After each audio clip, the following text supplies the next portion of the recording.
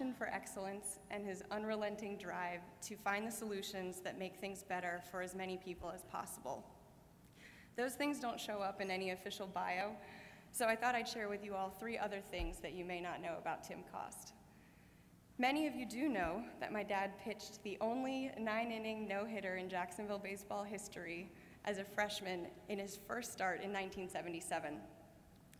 It's an incredible accomplishment for a kid from Syracuse, New York, trying to make his mark and win for his teammates. But I think if you asked my dad about his proudest athletic accomplishment, he would say that it's after four years as a starter at JU, and even now in 2015, he is one of the 10 winningest pitchers in JU history. You know, the stars can align for an individual on any given day, but that type of sustained winning demands concentration, determination, dedication, and a commitment to delivering. How often do any of us really do something in our lives that actually embodies those characteristics? It means marshaling your physical and mental resources toward a sustained level of performance. It's a commitment to excellence that can withstand challenge, and I think those are the traits that have been the basis for the work my dad has done every day of his life. You may have also heard that he was an M&A guy, that he did deals on behalf of major public and private companies. But in my opinion, that's really too, too narrow a characterization. He is uniquely able to look at an organizational structure and find the ways to unlock more value. In business, that means mergers, spin-offs, acquisitions, and taking companies public or private. And it creates value for shareholders, customers, employees, and the community. But it also applies to his philosophy and his passion around developing people, helping his team rise to their full potential and contribute at the highest level possible. His commitment to putting the right people in the right roles and then developing their strengths and autonomy is probably why his team at Wyeth still gets together every Christmas, even though the company was bought in 2009, and why over the years he's gotten thank you notes from people that he's let go. His focus on finding creative solutions and elevating those around him are so evident to me in the revolution that he's leading at JU that started three years ago when he became president. You may have heard that things are changing and that investments are being made, and that he's using all those skills honed in business to better the university. But I can tell you from several decades of knowing him that this is totally different. This is something so much more. This is not a vocation, it's a calling. Every day he's thinking about putting the students at the center of everything that goes on at the university, trying to figure out new ways that we as a community can create an environment where they not only have opportunities, but thrive and contribute and ascend to their full potential. It means new programs, world-renowned experts, better facilities, and more partnerships. And it takes his special brand of concentration, determination, dedication, and a commitment to delivering to make that happen. Our future really depends on it. I hope you'll have the chance someday to talk to him about his experiences and learn some of the things that don't show up on the official bio. For now, it's my honor, pleasure, and privilege to welcome to the stage the man whose vision and values have influenced and shaped me from day one, and who I'm so proud of today. Dad. Ladies and gentlemen, Tim Cost.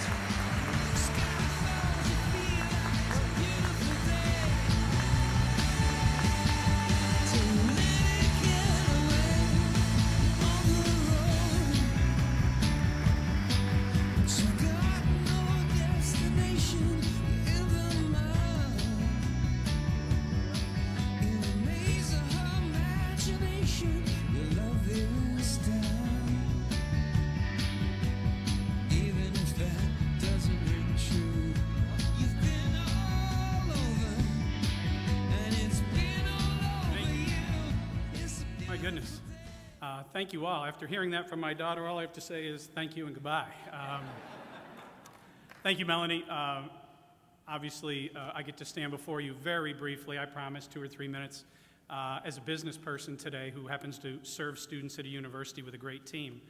But I hope you know there's days like this where it's a great honor to be a parent.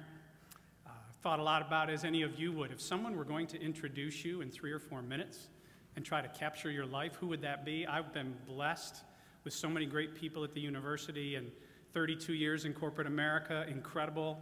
Lots and lots of people I think might have said something, but I thought you might enjoy uh, benefiting as Stephanie and I do from hearing from our daughter. So, a couple of thank yous. Oh, thank you.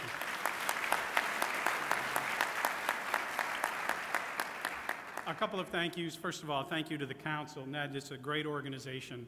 Uh, the, the three gentlemen that I'm going in with, congratulations to each of you. The four of us did get together, and we we're very much taken a very compelling mission that this organization does, the council, and we thought maybe we'd add a little bit of our own investment. We're very pleased to do that. And if next year's class is anywhere here in the room, we hope we begin something that each year the inductees would try to add to the investment. Uh, we never, at events like this, get a chance to thank Melissa Ross. Melissa's become a personal friend in the three years Stephanie and I have come here. I think she does an incredible job on the radio. And if you don't know, on December 9th, 10th, and 11th, she's going to be hosting the national radio program, The Diane Rehm Show. Melissa Ross. I get the dates right? I don't know if I just put out news. Don't tweet that, whatever you do, okay? I want to thank the Honorable Lenny Curry, the mayor who was here, and the Honorable Daniel Davis.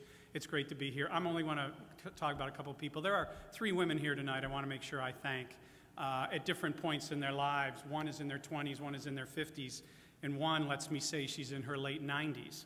They all happen to be sitting at the same table, and they formed a great deal of what I've become. One, my daughter, who you just met, who, along with my son Drew, uh, who became an all everything athlete at Penn State after Melanie played four years of great rugby and graduated top of her class at Wake Forest. Drew's gone on to his career. Melanie's degree is in economics, if that helps. So you heard lots of efficient market theory and self correction here that I hope all the CEOs understood. That was a fairly typical dining room conversation if you don't think it's true.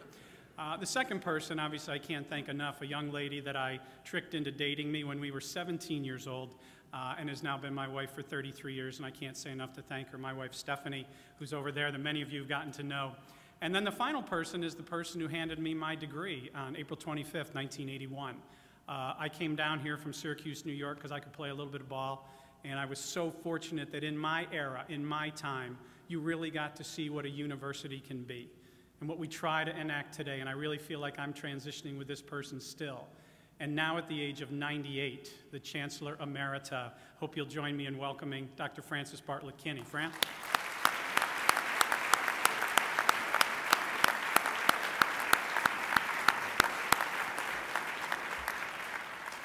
So after I got to shake Fran's hand uh, on April 25th, 1981, I got to walk two more steps, literally, and we still do this today at the university, and I got to shake the hand of the chairman of the board. And there are pictures of me, and you saw some of them shaking hands with Dr. Kinne, but there aren't as many pictures of the next gentleman. I shook his hand, and we've stayed in touch, and I've learned a great deal, and he's sitting at our table, Mr. Bob Shircliff. Bob, thank you for everything.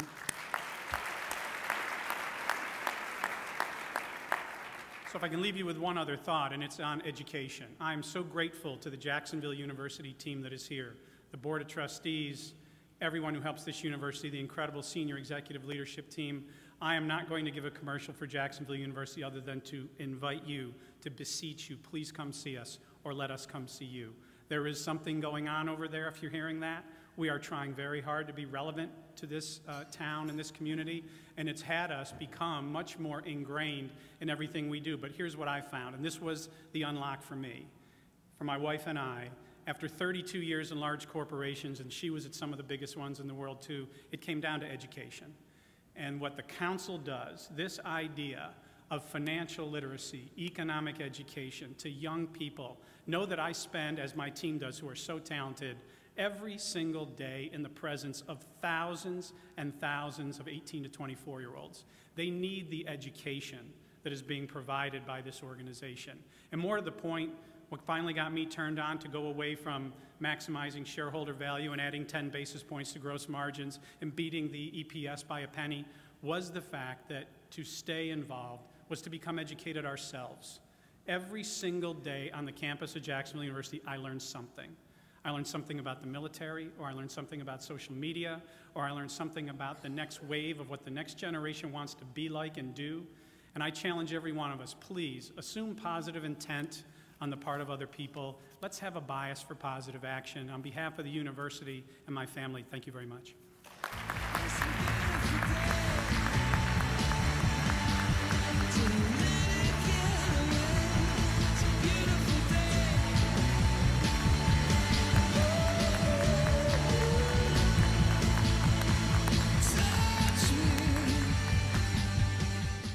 Congratulations, Tim. Well, many of you may not know this, but Shad Khan almost did not purchase the Jaguars. Luckily for us, the deal did go through, and the deal with the Rams actually was not meant to be. Shad always had a soft spot for Jacksonville. In fact, it was one of the largest ports used for automobile shipments, an industry that probably no one in the world knows better or has been more innovative in than Shad. Please help me welcome Mark Lamping, President of the Jacksonville Jaguars, here now to introduce and tell us more about our next inductee, Shad Khan.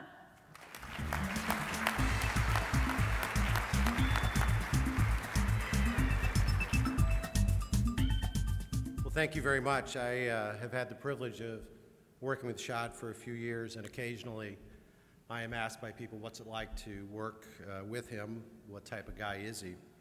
And uh, I came to the conclusion that you can learn a lot about Shad in the simplest of ways. Uh, watch how he deals with people. Uh, if you've ever been in a conversation with him, his sincerity rings true very quickly. He looks you in the eye, he asks you questions. He doesn't do what many of us do all too frequently and be looking over the shoulder about who the next person is they're going to, to talk to. He cares about the conversation. And he asks questions, meaningful questions. He asks things like, What do you do? Where did you go to school? Now, if you're an engineer, and if you went to any school other than the of Illinois, the response will be, Fine school. Not quite as good as the University of Illinois. And then that will be followed up by a question sort of probing your retention of the theory of electromagnetism or something like that. And Shad uh, then will, will, will almost give you the impression that he is so loyal and so thankful, not only loyal to where he's come from, but thankful to this country and the opportunities that it's, it's provided him. Shad uh, arrived in Champaign, Illinois, a 16 year old from Lahore, Pakistan, and did obviously what every 16 year old international student would do. He went through fraternity rush. Now, Shad did go through fraternity rush. He joined the Beta House, and to this day, some of Shad's closest friends are his fraternity brothers, his classmates at the University of Illinois, and his friends and neighbors in Champaign, Illinois, that have been such an important part of everything that he has accomplished. He also um, is somebody that strikes you as really caring about your family. Whenever you, when Shad has an event, he always wants the spouses involved, always wants them involved. He wants to know about your children. He, he asks questions to find out who you are as a person and how you ended up being the type of person that you are. Like, where did you grow up? What did your parents do? And after a while, because Shad pays attention, he has an unbelievable memory.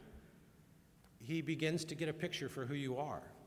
And many times, and it happened right over here at our table at lunch, this happens very, very frequently. He'll say, You know, are you from fill in a blank? Like, are you from Argentina? And the person will respond, Well, yes, I am. I'm actually from the northwest uh, part of Argentina ne- near the Paraguay uh, uh, border. And, and Shad will say, You know, I've visited that area. I've been there with some of my, my customers. It's a, it's a great place.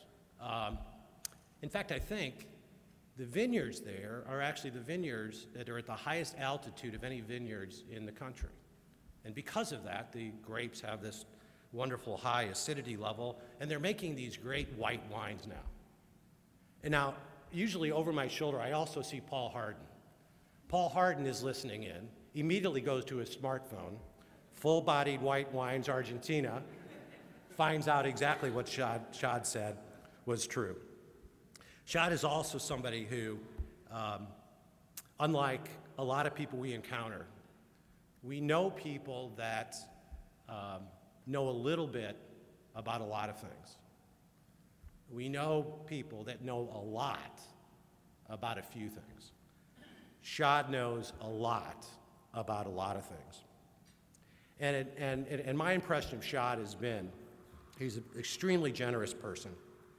And I think I, when I see him, when he's enjoying himself the most, it's generally when people around him are enjoying themselves and are having the opportunity to take advantage of his generosity. So, you know, it is my pleasure to, to uh, introduce uh, one of the newest members of the First Coast Business Hall of Fame, a sincere person who's very loyal, who's very grateful, who really cares about families, who is smart, who is very generous, who is humble, and oh, by the way, built from nothing a multi billion dollar international business that is growing and thriving in one of the most competitive industries. Shad Khan.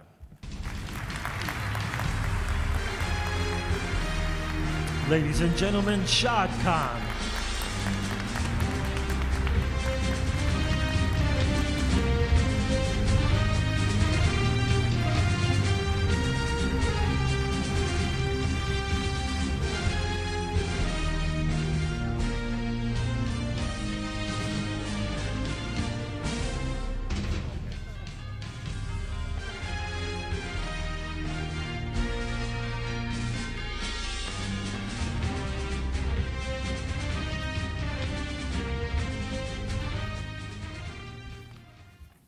Well, good afternoon.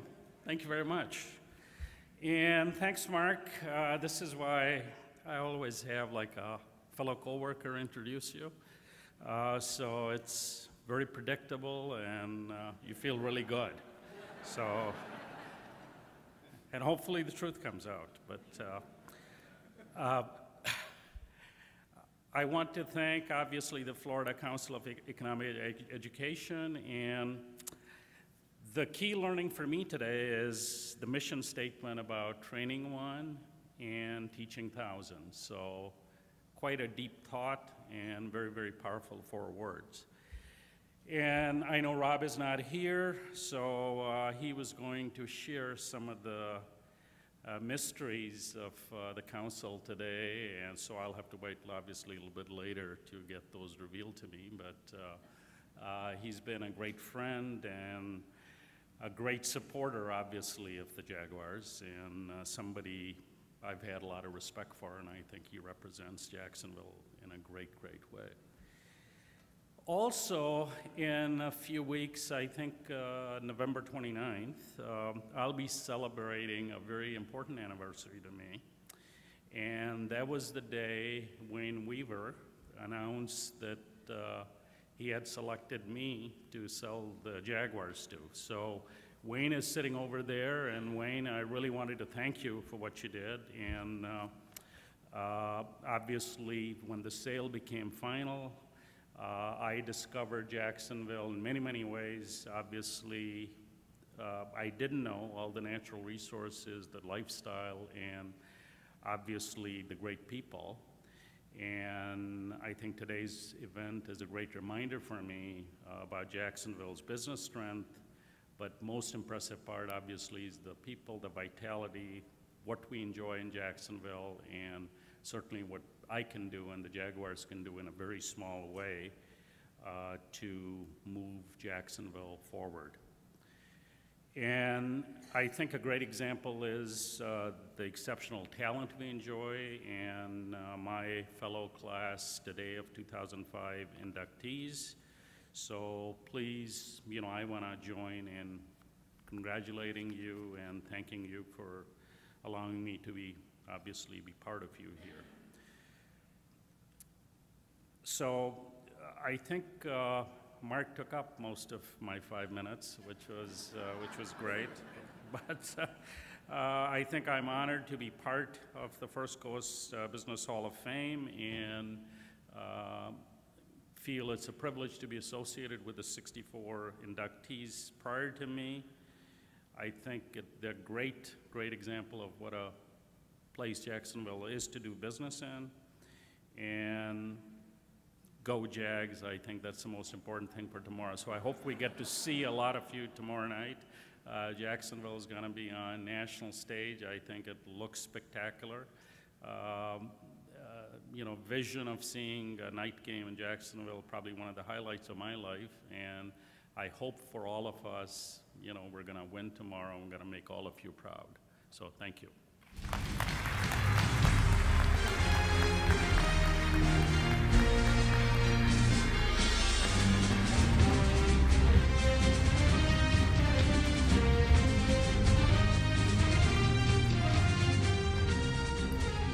Congratulations, Shad. Well, our final inductee this afternoon is no stranger to stepping up for this community. Throughout his career with FIS, Frank Martire has found a way to balance philanthropy and charitable causes while also running a major global public company. In a 2010 article with the Jacksonville Business Journal, Frank said, I love being part of the community and being involved in making a difference. It's a little bit easier on me than the rest of our employees because I drag all of them in to help me. They do all the work. I think I speak for all of his employees when I say it's easy work when you have a good example to follow. Here to tell you more about Frank is his loving wife of 45 years, Marisa.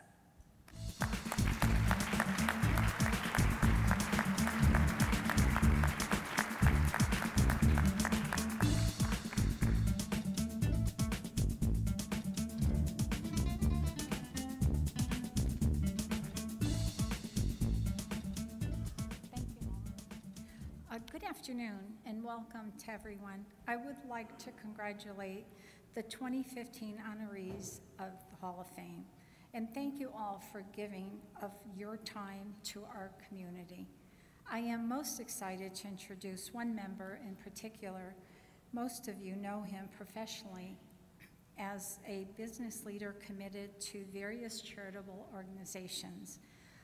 He gladly gives of his time and encourages others to get involved and give back as well. So I will give you a brief glimpse of the man personally.